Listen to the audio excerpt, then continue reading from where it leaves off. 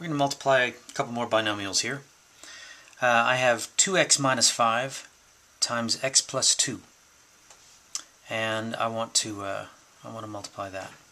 Okay, so what I'm going to do is I'm going to take this binomial, the first one, and I'm going to distribute it over the second one.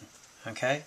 So that means I'm going to say this equals x times 2x minus 5 plus 2 times 2x minus 5. And that gets me x times 2x is 2x squared. Negative 5 times x is minus 5. Plus 2 times 2x, that's going to be plus 4x. And a positive 2 times a negative 5 gets me minus 10. And now all I... Hey, hold it. x times negative 5 is minus 5x. Sorry about that. Okay, now that looks a little better.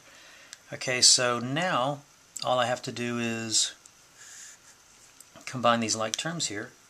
And what I see I have is 2x squared minus x minus 10. Now one thing I want to point out is I didn't have to multiply, I didn't have to distribute this one across the other one. I could have distributed this one. So let's see how that would work. Uh, we would have 2x minus 5 times x plus 2 equals 2x times x plus 2 minus 5 times x plus 2. You see what I did? Took the x plus 2 and treated it as one entity and said, I'm distributing this across this binomial here. Alrighty? 2x times x, 2x squared. 2x times 2, 4x. Negative 5 times x is minus 5x, and negative 5 times 2 is minus 10. And what you can see is I got the exact same terms here that I got here.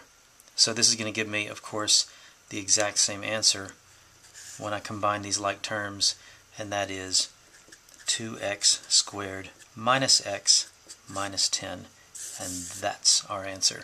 So as you can see, you can distribute it either way. Uh, you can start it off either way, and you're going to get the exact same answer.